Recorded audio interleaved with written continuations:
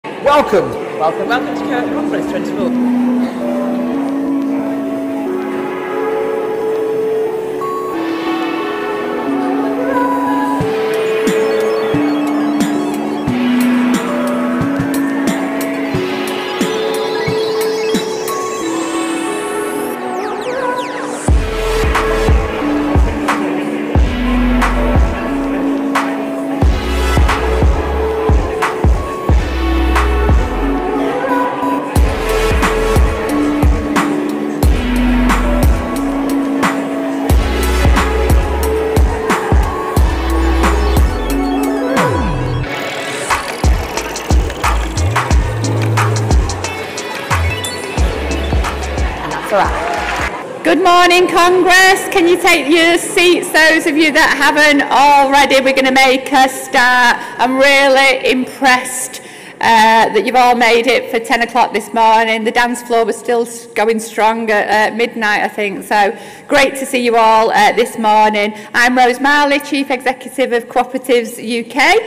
Um, so for those of you who have not been uh, here until today, we've invited a lot more uh, younger uh, members today. So a huge warm welcome if you've never been to Congress at all, uh, especially if you've don't know what a co-op is, but we're going to be having a whole youth summit next door uh, well, there'll be lots of workshops and you'll find out more about that shortly.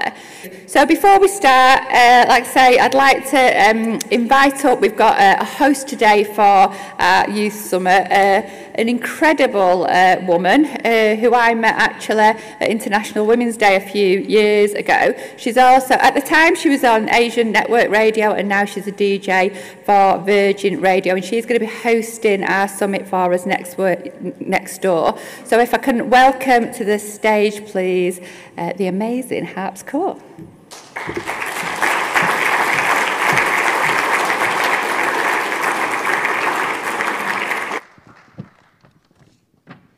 Morning, Haps. Morning.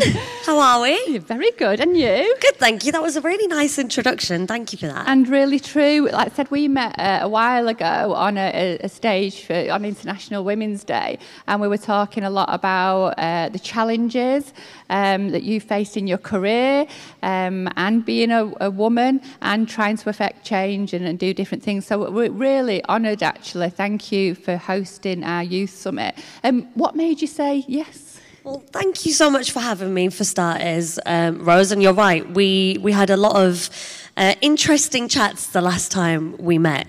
Um, why did I choose to do this? To be really, really honest, if you want the truth, it's because even I want to educate myself a little bit more on co ops, and I don't really know much about it too. So I think once I read the brief and I got into this a little bit more, I thought, actually, this is something that everyone should know about. So that's that's the main thing that hooked me in. Fantastic. I'm sure you're going to learn uh, loads. And, and why do you think it's important from a uh, young person's point of view?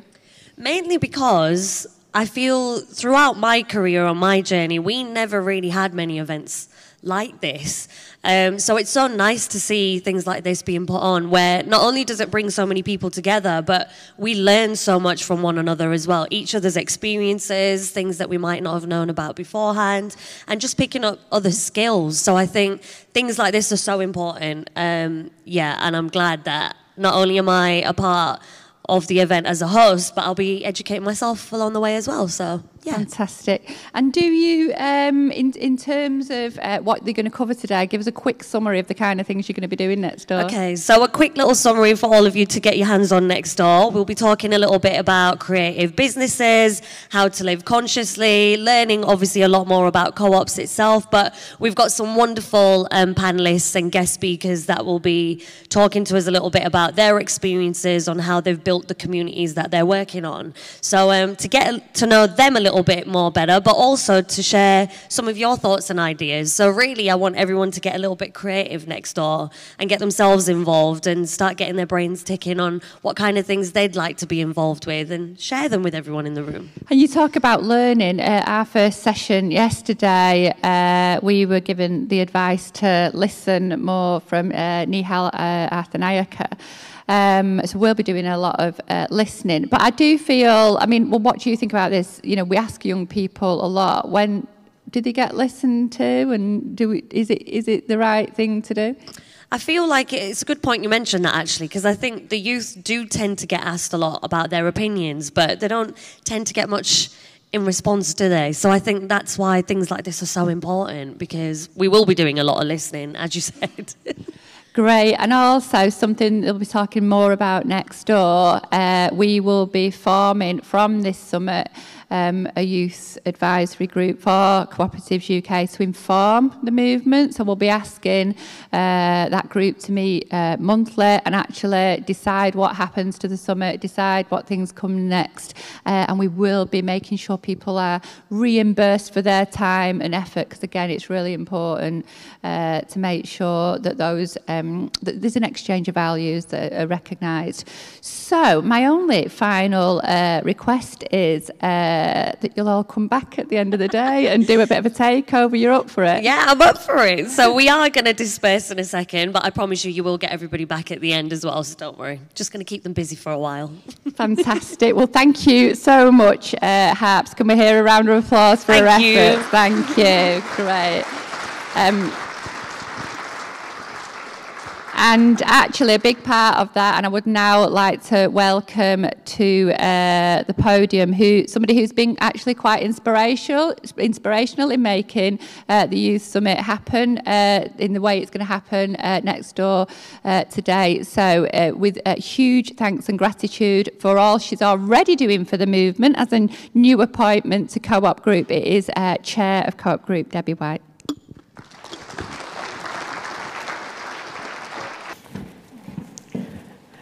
Thank you, Rose, for those really, really kind words. And good morning, everyone. It's a real privilege for me to be here. And I would like actually to do a big call out to Rose and all of her team for a fabulous session yesterday. I think they all deserve a great round of applause.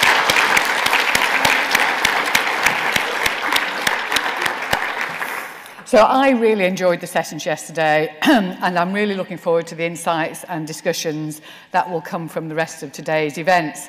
Uh, as Rose said, I think it was in January, Rose, we started to talk about the Young People's Forum. And um, one of my passions, as, as you, you'll all come to learn about me, is what's the future of our movement? And I see really strongly the future is with our young people.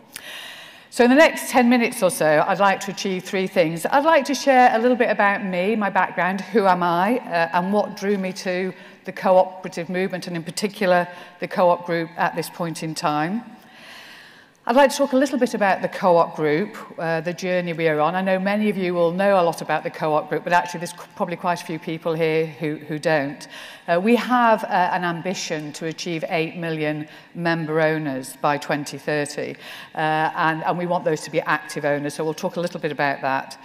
And then finally, I'd like to touch on the real opportunity I believe that exists for our shared cooperative movement in the UK to become even more relevant for everybody, but particular, particularly for today's younger generation. And we heard yesterday from the Cooperative Party about uh, if the Labour Party get in power, what they think our, our ambitions should, should look like. So let me start by talking a little bit about, about me. Um, I was born in the northwest of England, not far from One Angel Square, or indeed Rochdale. I was actually born in, in Stockport.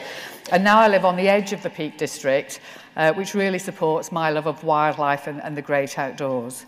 I have three wonderful sons, two dogs, and one hugely supportive husband. And, and without all of them, including the dogs, I couldn't do what I do today. I began my career training as a chartered accountant in Manchester, and over the course of 40 years of being in business, I've held a range of different executive roles, including being a CEO of a public company and the CFO of a number of companies. As well as being the chair of Co-op Group, I sit on the board of a US medical tech company, which is a startup in the area of esophageal cancer, and I sit on the board of Spire Healthcare. One thing I'm particularly proud of is I'm Honorary Treasurer and Trustee of a charity called Wellbeing of Women, which raises money to fund research into women's health uh, issues. And you'll have heard yesterday somebody mentioned the menopause pledge. Actually, that was something that Wellbeing of Women came up with and that they're doing a lot more in the space of period pain and other issues that affect all women wherever they are in their life cycle.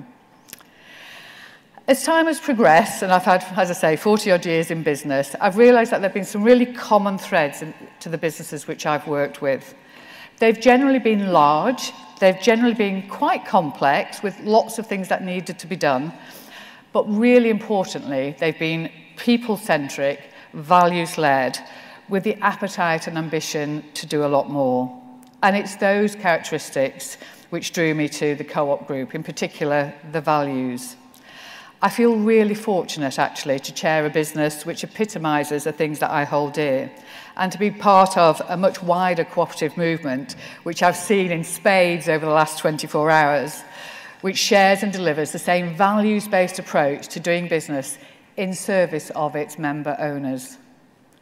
I'm really excited about the future and about the vision of our business and our goal to achieve the 8 million active member owners by 2030. Our intention in doing so is clear. If we significantly grow our membership over that period, it follows that we will increase the economic value that we can provide for our member owners. We must increase member engagement and participation. And if we do, the result we'll have is we'll increase the social impact we can have on broader society. No other business model that I'm aware of places such focus on achieving these wider outcomes, and that's why I'm so proud and humbled to be part of the co-op group and the wider cooperative family. At this point, I would like to recognise the great work undertaken by Shireen and all of her team over the past two years to put Co-op Group into a much stronger financial position. As, you, as some of you will know, we have reduced our net debt levels by 90%, which is an amazing achievement.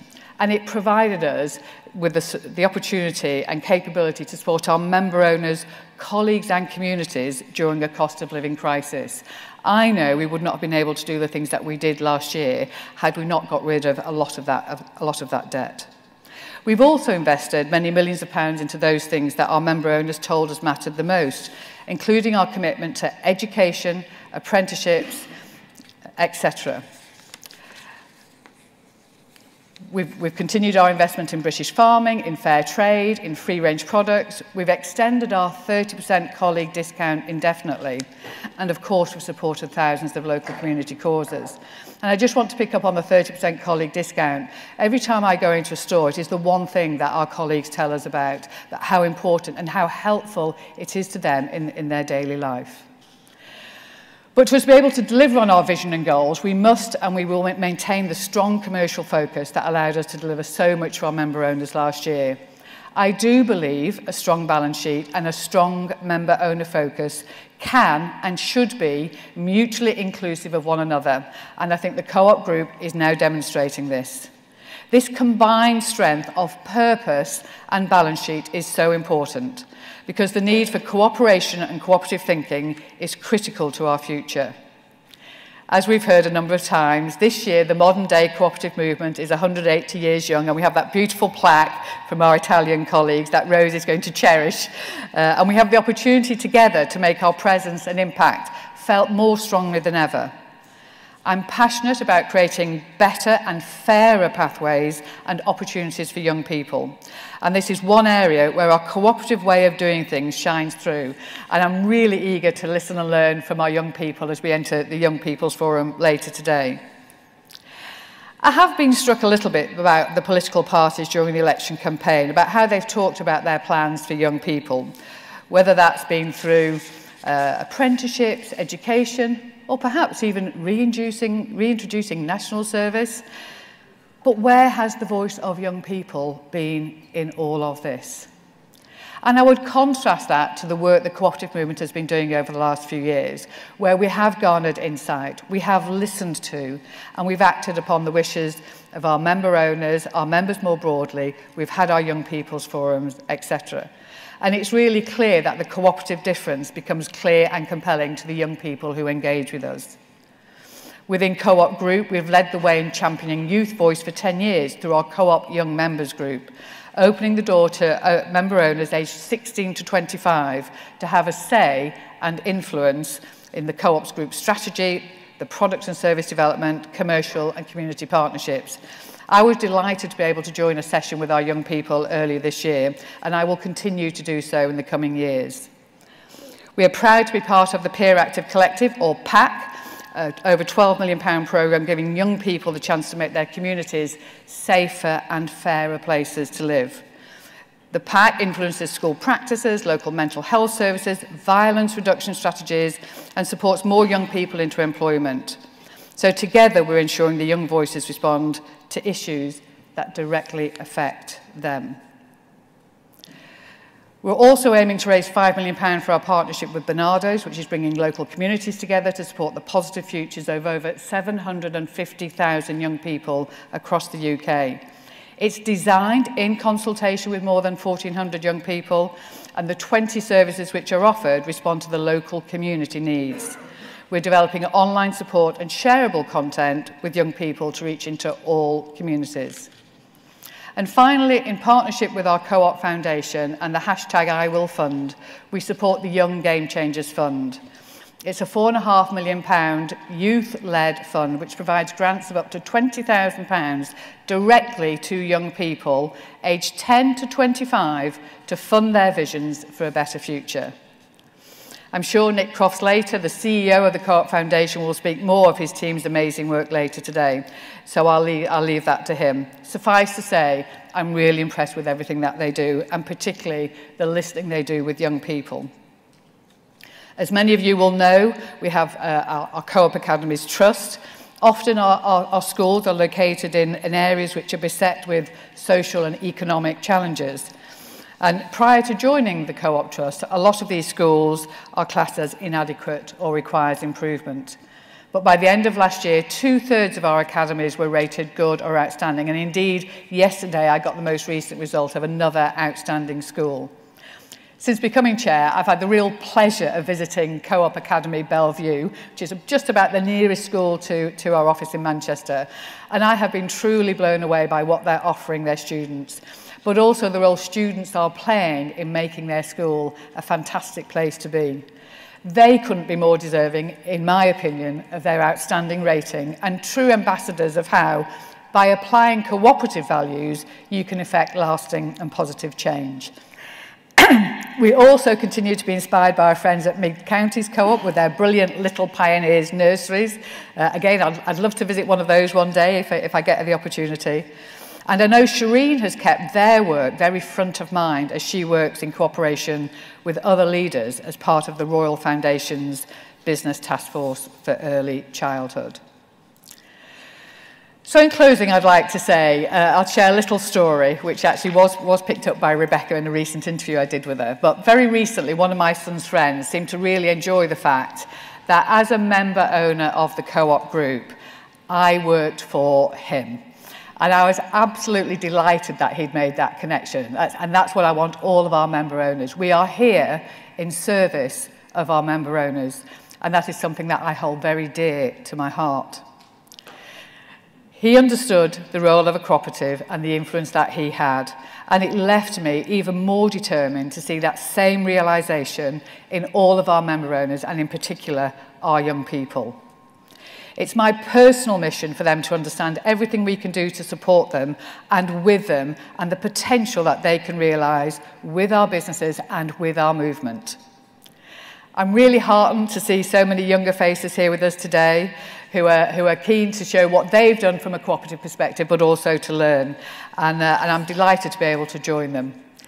So in drawing myself to a close, hopefully I've achieved my objectives in that you know a little bit more about me, my reasons, my excitement, and my passion for engaging young people in what we do and stand for. Thank you to Rose and Co-ops UK for inviting me to speak today. It's been an honour and a privilege. Have a brilliant rest of the day, everybody. Thank you.